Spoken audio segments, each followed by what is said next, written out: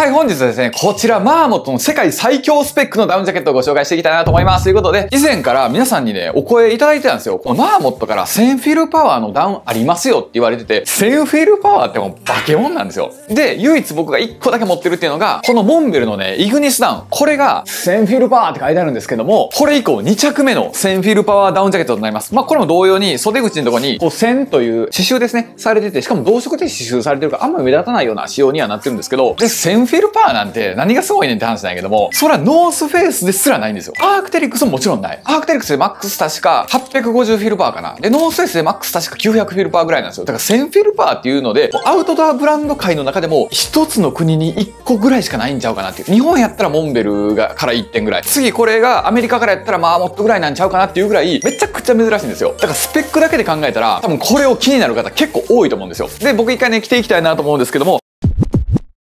L サイズで着用しております。なるほど、こんな感じなんよ。初めて今袖通しました。はいはいはい。用途もなんとなく分かってきました。僕は身長178センチで65キロぐらいなんです。えっ、ー、と、今現時点で腹筋をバキバキに回っている最中なんで、え少しずつ割れてはきてるんですけども、サイズはいつものサイズで全然いいと思います。日本サイズで M 着てる、ユニクロで M 着てるよって方やったらこれも M で全然問題ないかなと思うんですけども、この1000フィルバーってマジで世界最高峰なんですよ。で、僕が持っているダウンのフィルバーですら、ここの会社のマックスがこれなんですよ。まあ、厳密に言うと僕は915とか930 30ぐらいのやつも知ってるっちゃ知ってるんですけど、基本的に最大の羽毛会社ですら1000フィルパーって持ってなかったりするんですね。あ、そうなんだ。そしたらめちゃくちゃ珍しいんですよ。そうなんですよ。めちゃくちゃ珍しいんですけど、ただもう1000フィルパーまで行ったら異次元のレベルになってきて、ちょうどここまで行くともう産地とかがわからんっていうかごまかされてるんですよ。明記されんようになりだすので、これも正直ヨーロピアンのホワイトグースダウンってヨーロッパっていうのは確定してるんですけど、例えばこういうとこやったらもう産地とかもしっかり分かってて、ポーランドとかハンガリーとかしっかりもうどこの牧場から取れてる飼育された水鳥か分かってるんですけど、ちょっとそのあたりに関しては中国とかどこなんか分からへんけども、まあ、1000フィルパーとか、モンベルの方も表記はされてないので、ちょっとどこまでが1000フィルパーで、1000フィルパーも一粒でも1000フィルパーがあれば1000って言えるんですよ。だから、全部が1000フィルパーの羽毛の大きさではなくて、たった1個でも1000があれば1000って歌えるので、そのあたりは正直分からんとこではあるんですけど、男の人って数値好きじゃないですか。そういうのを言うと、皆さんにこう興味を持ってもらえるっていうところで、僕もいろいろお話はしてるんですけど、見てください。これね、どっちかって言ったら1000フィルパーなんですけども、割かしスッキリした感じで着れるタイプですね。これ一回ちょっと締めてみると、こんな感じですね。もしかしたら僕ワンサイズ上でも良かったかもしれないんですけども、ただ、これね、結構薄手に作られてて、使い方としてはどっちかっていうとダウンじゃなくて、ライトダウンみたいな感じなんですよ。このモンベルのイグニスダウンとかとあんまり使い方変わらないんですよね。なので、こう、ヌプシとかみたいな感じでボリュームがあるっていうよりかは、結構スッキリ着るような感じの薄手のダウンジャケットになってます。ノースフェイスで言ったらサンダージャケットとか、モンベルで言ったらイグニスダウンとか、ユニクロで言ったらライトダウンジャケットみたいな感じの位置づけの厚みかなと思います。だから、それによってどういう効果があるかって言うたら、めっちゃくちゃ軽いんですよ。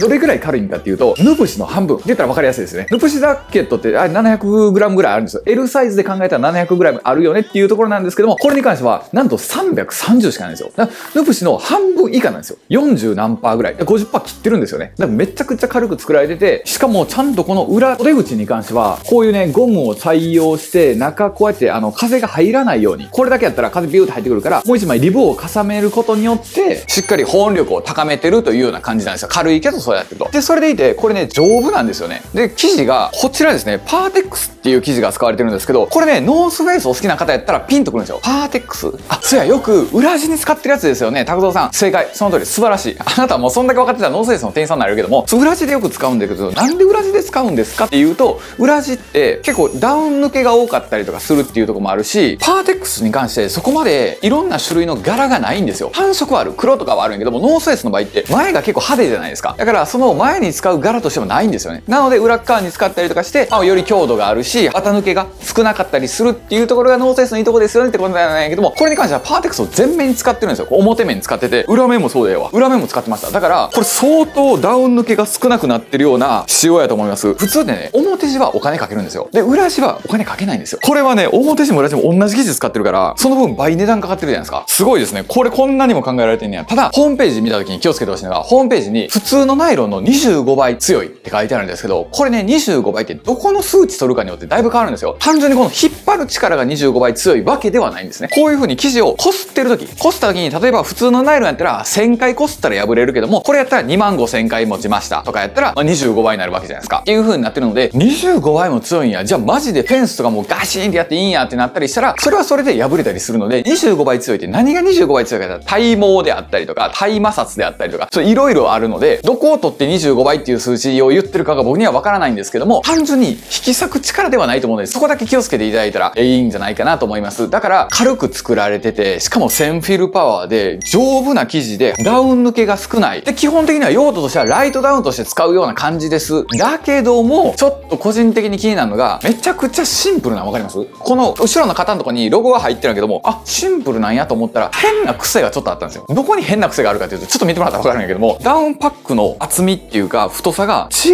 うんですよ。だからランダムに太さ変えてるんですよ。これはデザインとして書いてて、不規則にすることであえてデザインを入れてるみたいなんだけど、これってシンプルなものに対して難しくないですか？シンプルなものってこういう余計なことをしたら、それがいいっていう時もあれば、微妙っていう時もあるじゃないですか。僕個人的にかかってるのを見た時にどう思ったかというと、職務質問されそうやなっていうような感じに見えたんですよ。こういうとこにちょっときらびやかなファスナーがあったりとか、デザインがあったり、ロゴがあったりたりすると、全然見え方変わるんやけども、なんかここまでシンプルで、しかもこのボコボコしたのが不規則な感じが、どうも職務質問系ダウンジャケットになりそうやなっていう気がしてて、まあ僕個人的には職務質問人生で何回かされたことあるんですけども、まあここ10年ぐらいはされておりません。なのでね、皆さんこれ着るときは職質されてもいいように身分証とかを持参していただいて、職業を提示できるもの、僕こういう仕事しますよっていうのをね、やっていただけるっていうのがいいんじゃないかなと思うんですけども、こっからですよね、メリットデメリットで、ちょっとおすすめじゃない人っていうのもね、行きたいなと思うんですけども、このダウンジャケットって、その真冬乗り越えるためのダウンジャケットではないので、本当にライトダウンとしての位置づけなんですよ。お前が勝手にライトダウンで決めるなっていう話なんだけど、それを示す証拠が何個かあるんですよ。っていうのも、例えば、ヌプシより半分の重さになってます。もうその段階で、まあ軽いよね。ってことはダウン量も少ないよね。相当出てくるじゃないですか、一つ目。で、二つ目っていうのが、こういうスナップサックがついてるんですよ。で、普通のダウンジャケットってこういうスナップサックってあんまつけないので、基本的にはじゃあ持ち運んでもいけるようなダウンジャケット。ってことはライトダウンになるよねっていうところもそうやし、まあ、他にもね、簡易的な、例えばこういう袖口とかってベルクロを採用したりすること多いんですけど、もうこういうのもベルクロとか入れずに、極力こうゴムとかで簡易にしていくというか軽くしていくっていうところも、やっぱりライトダウンの位置づけなんちゃうかなって個人的にはやっぱ思うんですね。で、あとタイとか。普通でダウンジャケットもうちょっと身幅に余裕があったりするけども、ここまでジャストに着させるってことは、おそらくこの上からまたもう一個着れる。マウンテンパーカー着れたりもするし、中間着にもなるし、アウターにもなるっていうような位置づけなんかなと思うんですけども、ダウン狙ってる人は、これはちょっと向いてないと思います。まあ、インナーダウンとして使うっていう人なんかはめちゃくちゃ使い勝手がいいなと思いますし、デメリットに関しては、唯一挙げるとしたら、多分こことの比較になると思うんですよ。で、イグニスダウンの方に関しては、このゴアテックスのインフィニウム使ってますと。で、裏地に関しては、まあこれも最初言ってたみたいな感じで、どっちかって言ったら表地には相当お金かけていく。裏地は多分値段がだいぶ違うと思うんですね。でもちゃんとリップストップナイロン使ってるってことなんですけども、イグニスの方に関しては、よりこの外で使うのがメインな人っていうのは、どっちかというとイグニスかなと思うんだけど、これに関しては、車内とかで使うとか、そういう人なんかには向いてると思うし、あと屋内、買い物とか行ってショッピングモール買い物行くとかってなった時なんかは、このセンフィルパワーのありがたみっていうのをめちゃくちゃ受けれるんですよ。で、なんなかっていうと、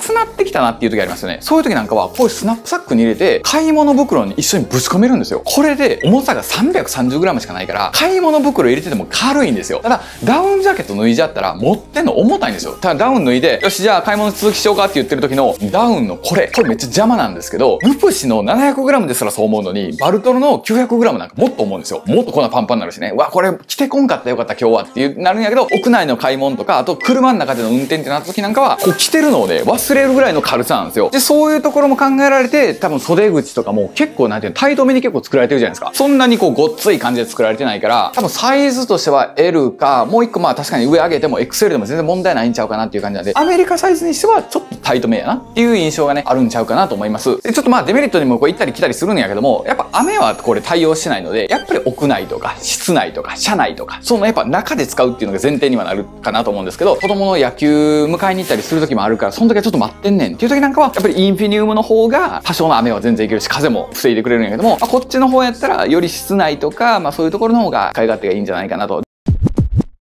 まあ、今回ね、ダウンのこのオンライン買うときにパってスペック見とって、で、1000フィルバーで数量が軽かったから、まあ、おそらくライトダウンなんやろうなと思ったけども、わからん人はわからへんじゃないですか。バッチリこの真冬着たろうと思ってたけども、あ、真冬の、例えば釣りとか、バイクとかアウトドアで着るっていうタイプではなくて、どっちかっていうと室内で着るっていう感じなんで、まあ、よくこう会計とかしてるときに、こう会計し終わった後とかに、あ、そうや、クーポンあったっていう時あるじゃないですか。しかも会計終わってからしばらくして車も乗った瞬間ぐらいに気づくんですよ。うわー、クーポンあったわ、出すの忘れてたっていう時あるでしょ。あんなな感じで、あ、センフィルパワーやって喜んできたけども、あ、これインナーダウンやったわっていう、そのちゃんとその用途だけ分かってれば全然問題ないと思うので、やっぱりセンフィルパワーで本気のダウンジャケットを作ろうと思ったら多分あんまないんですよ。で、まあそれはなんでだかって言ったら、やっぱりもちろんコストがかかるっていうところもそうやと思いますし、よくそれをオーバースペックっていう方もいらっしゃるんですけど、実はそういうことじゃなくて、センフィルパワーあるってことはそんだけ軽く作れるっていうところなんで、だからヌプシとかも 600g やけど、あれって言うたら600フィルパワーとか結構低めの数値やから、結構パンパンに入れやなあかんから、ちょっとその分重くなって600やけども、1000フィルパーで 600g も入れたら、もうパンパン、もうバルトロとかヒマラヤンパーカーみたいになってくるんやけども、まあそういう風にして、こう見た目より軽く作れるっていうのが、このフィルパーの良さになってるので、1000やからオーバースペックとか、900やからどうのこうのとか、600やから低いとか、そんな話じゃなくて、まあどう軽く作るかっていうところが、まあベースに置かれてるので、このライトダウンにするっていうところが、すごい生きるんですよ。ライトダウンって薄くて軽いから、それをより薄くて軽くできるっていうところが、この1000フィルパーの恩恵を最大限に受けれる。まあでもそれを1000フィルパーで思いっきりダウン作るのも面白いとは思うんですけど、僕が国内で取り扱ってる工場さんには1000フィルパワーっていうのが存在しない。っていうか日本国内の工場さんには存在しないんですよ。海外の工場やったらあるかもしれないけど、僕個人的には、まあジャパンメディアって言って日本の製品で作ってるから、まあ基本的には無理やと思うんですけど、もしね、どっかのブランドさんが1000フィルパワーでダウンジャケットってなったら、ぜひね、あの、買ってみたいなと思いますし、もしそういうのがあれば教えていただけたらなということで、本日はですね、マーモットのダウンジャケットを紹介してみた動画になってます。また別動画でお会いしましょう。ありがとうございました。